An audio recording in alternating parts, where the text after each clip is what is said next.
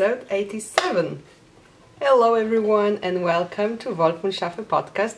My name is Magdalena and this is my little kitty co-host, Domara. Meow.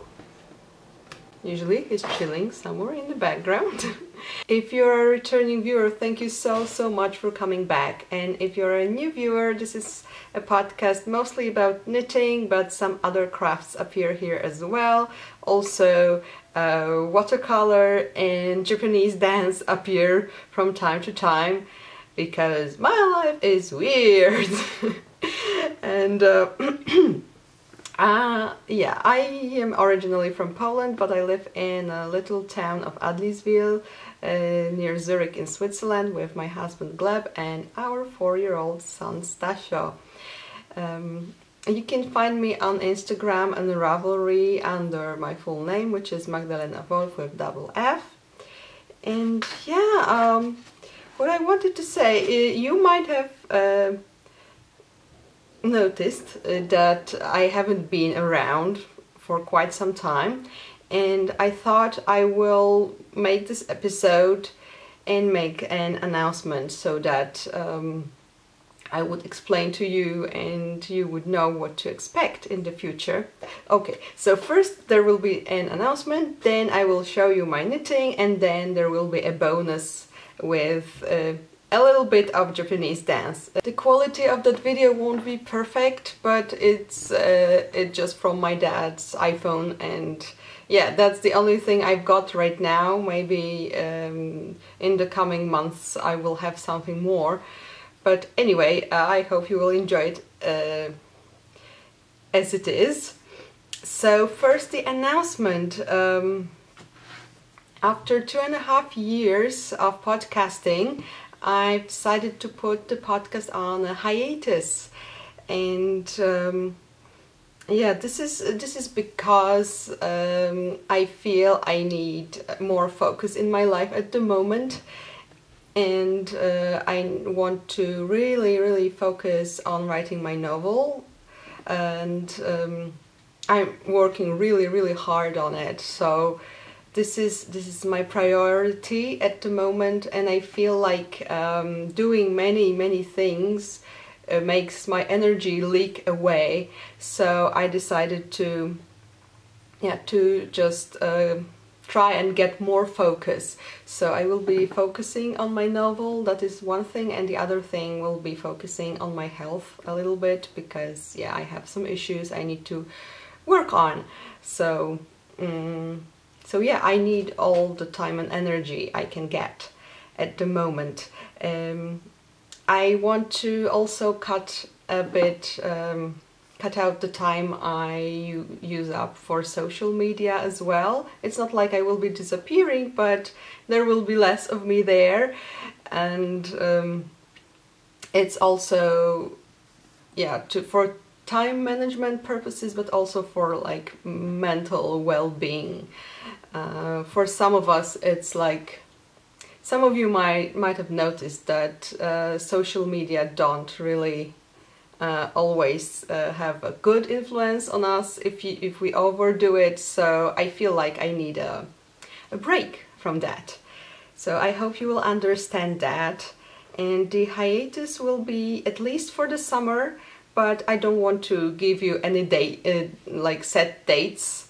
It just so that you know that um, yeah I won't be around for a while and um, I of course still love knitting and um, I just need this focus in my life at the moment. And this is the uh, decision that I made about it. And thank you. Thank you so much to all of my viewers to everyone who even those of you who've watched only one episode of mine. Thank you so much for being there. Uh, thank thank you for all the comments and thumbs up and subscri uh, subscriptions everything. It was a pleasure to interact with you. And yeah I think I will miss it but as I said I need to uh, put some um, structure into my life at the moment and that's what I decided to do. Um, yeah um, this is my announcement. Also I wanted to mention uh, that I got some lovely presents recently, uh, which are patterns, and I wanted to thank those who gave them to me. Uh, first of all, it's um, River Flows hat pattern by Barbara from Knitting I Love. Thank you, Barbara. And the other one was Sunny Everyday um, cardigan pattern by Albina from LB Hand Knits and it was it was really sweet. Barbara sent me the hat pattern as a birthday gift and Albina sent the pattern as her appreciation for my podcast so it really meant a lot. Thank you so so much and you should totally check out those patterns. Um, yeah so let's start with knitting. Uh, I have a finished object, but yeah, I forgot to put it on sock blockers for you. So finally my uh, Edinburgh Yarn Festival socks are finished. Yeah, I've been a bit slow on that. But as I said, I've been uh, focusing mostly on writing and um, yeah, there was just not much time. I was like concentrating hard on writing all the time, so not much knitting done. And that was also the reason I was not making any episodes, because I thought, yeah, you won't be interested in this much of a progress on the sock, right? but anyway, uh, these are done. Whoops. Of course, the ends are not woven in, because, yeah, I always have a problem with that. Uh, but yeah, this is the sock. Uh, without the blocker, this is on the blocker. And yeah, I cannot understand why it is so much bluer on the camera. It's more green in the real life. And this is um, Knitting Goddess uh, in the Octarine colorway, a Terry Pratchett um, inspired colorway. And yeah, and I have my go-to ribbing here, so it's two by two ribbing. I used to do the twisted rib, uh, one by one twisted rib uh, cuff, but um, it was very stretchy. I mean, not stretchy. It was it stretched and then it stayed like that. Okay, and uh, this this type of uh, ribbing is just um, yeah, it keeps together better, I think. So yeah this is it. As usual it was toe up, uh, fish lips kiss heel and what was it? Um, the Jenny's surprisingly stretchy bind off that I usually do for socks. So yeah, this is it. And yeah, and I have one of my Karbonz interchangeable needles I think it fell behind the bed and it's um, our bed and it's very uh, hard to get it out of there. So I'm a bit worried that I will have to you know crawl and try to push this big big bed. I think I will wait for my husband to help me. Anyway yeah but he, he, he has this arm injury so it might not be too easy.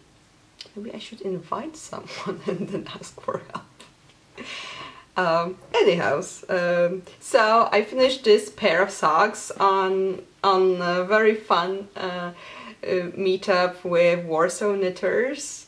Hello ladies, it's always a pleasure to meet them. And then, then I started a new pair of socks, of course, like you do. And yeah, and I, oh, I only have this much done. Guys, it's just micro toes. Alright, but I love how it's knitting up. This is the yarn and it has all those lovely beautiful speckles, really teeny tiny speckles and they just make me so happy when I'm knitting and I come to a, a speckle in a different color. It just yeah, I bought it at the Edinburgh Yarn Festival and I believe it's been dyed in Edinburgh. It's this yarn. So it's, whoops, yeah, it's this yarn. uh, Cosmic Strings uh, in the sock blend base. Colorway is Bluebell and it's yes and it's hand dyed in Edinburgh. And uh, she has also an Etsy shop so you can check it out. I have one other uh, skein from her. And where is it? Oh, it's here. Yeah, it's also very speckly. And it's also a sock blend, so I will be having some fun. Maybe, these are not really my colors, to be honest. But maybe a pair of socks for Gleb or my dad would be a good idea. Look at that! Woo! So yeah, this is it. And yes, about the sweater, the colorwork sweater. So some of you might have heard that Ellie from Skeindeer Knits, uh, she designed a beautiful Norwegian uh, colorwork sweater, well, like with this beautiful yoke and uh, she had to change the name. So now it's not Blåfjell sweater, it's a Vinterfjell, as I believe. So, so yeah, if you see this pattern and it's called something different, don't be surprised. It's just, um, she had to do that. This is where I am. I'm, yeah, I'm really advancing slowly on it. But yeah. I'm already done with this panel so now I will be making another one with this dark uh, background and then it will be only yeah only the the main color so this one. And this is a Jamieson's Spindrift no Jamieson's of Shetland Shetland Spindrift and it's 100% uh, Shetland wool.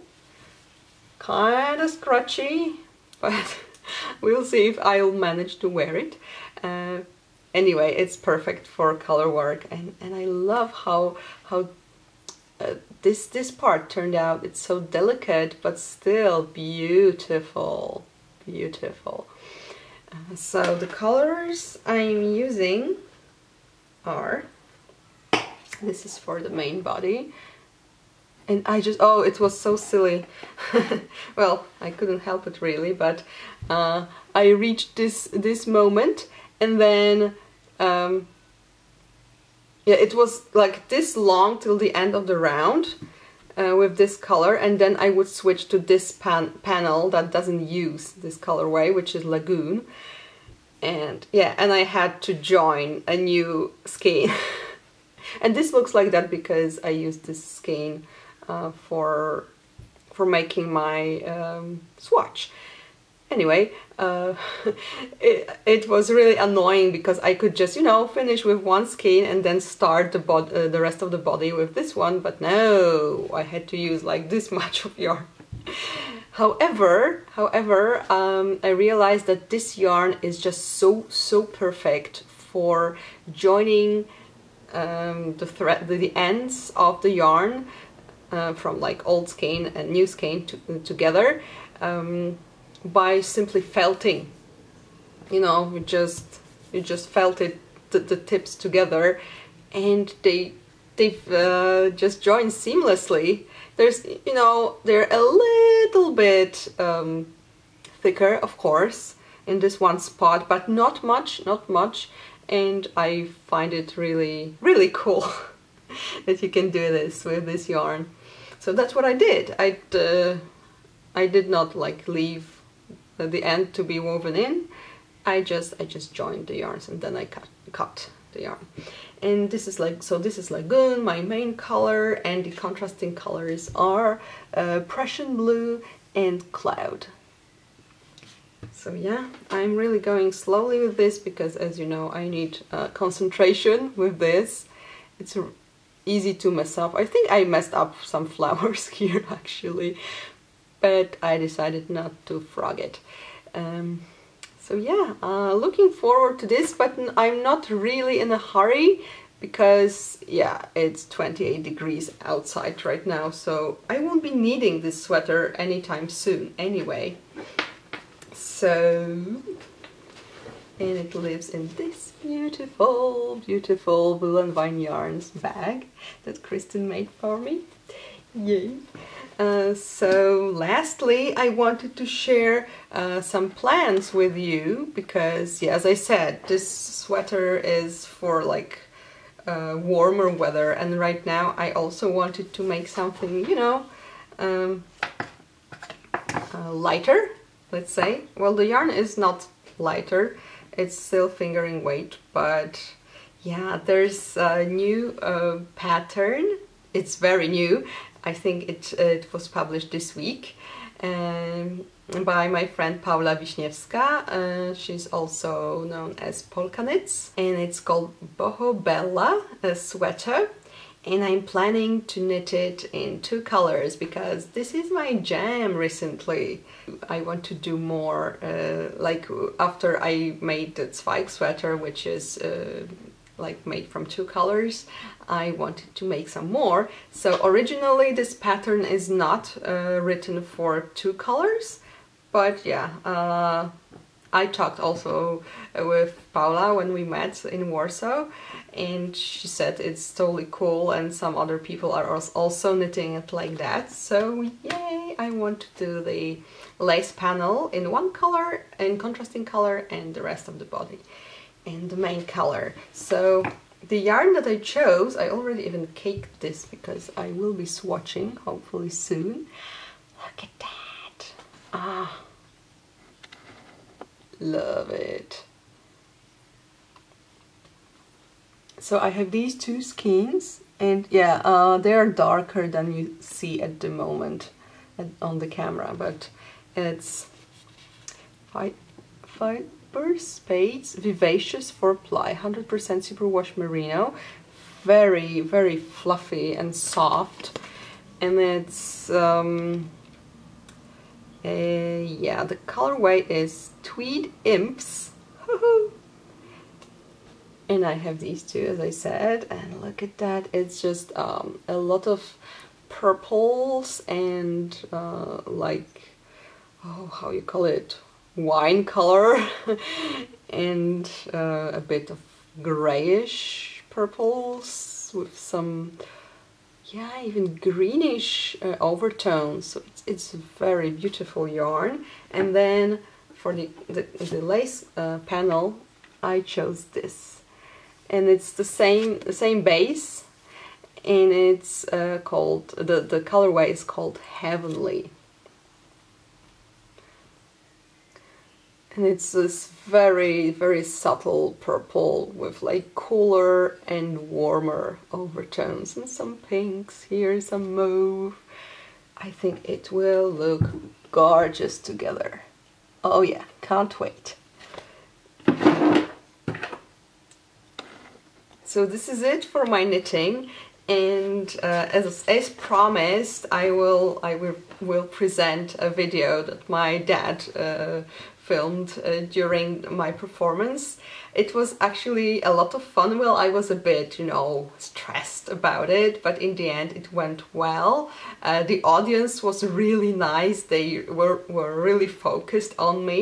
And my sister helped me out um, being my assistant so it was cool and uh, yeah it was a bit like um,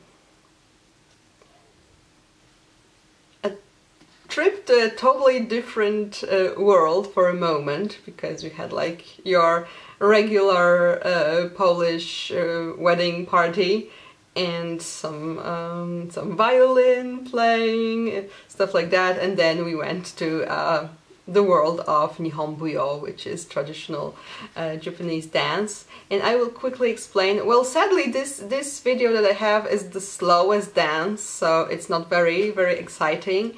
But still, um, it is a dance that is performed on like uh, happy occasions. Um, and it's called kotobuki, which means uh, literally it means longevity, but it also is used in the sense of con congratulations. So that's why I picked this uh, dance to open uh, my little performance. And in this dance, the dancer um, takes up a male role. So even if it's a woman, she's moving like a male dancer would, would which is totally different, by the way. You like put your feet differently and you make your movements differently.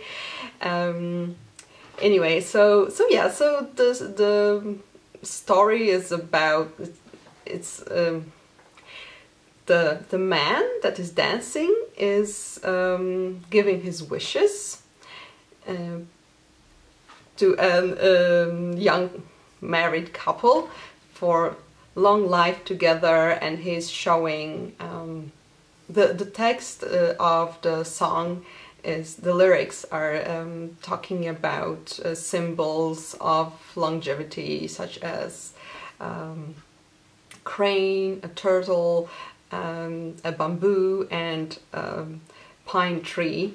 And some of them are shown like uh, you will see the bamboo growing when I'm like uh, turn my back to the audience and the the fan is the bamboo or the fan maybe um, the pine as well. Uh, yeah, the fan is everything, generally speaking.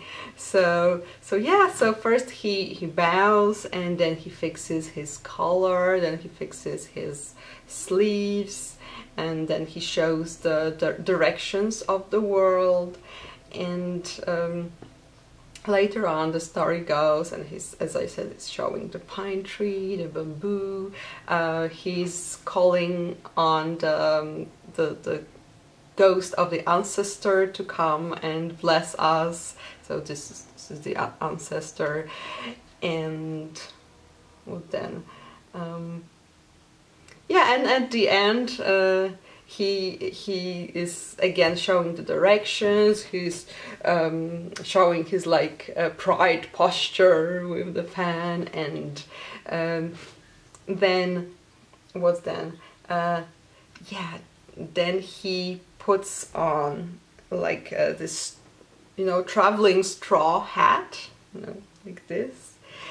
And then the fan turns from the hat to a walking stick and he goes on a journey. And, uh, and he wishes that, um, that the young couple will be together until uh, their hair turns white for both of them. So, so it was, uh, yeah, I thought it would be a very good dance to start with. And now now you can see it. And again thank you so much for watching. I hope to see you again uh, quite soon. But I as I said I don't have any date set yet. Uh, thank you thank you so much. It's been a pleasure really. And I hope you will enjoy. Bye. And where is my cat? Yeah こと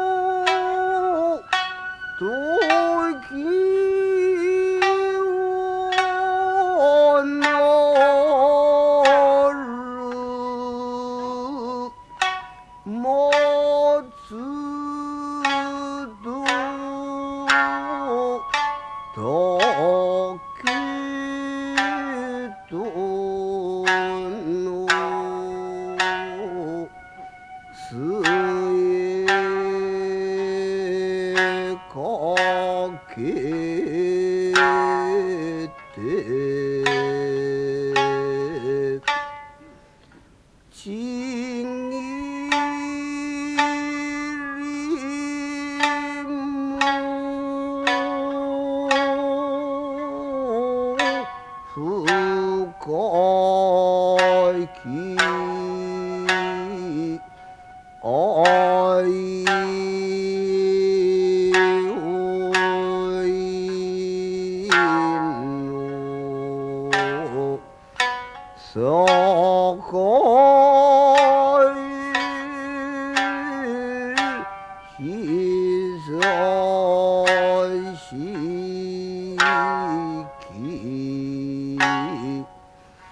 itu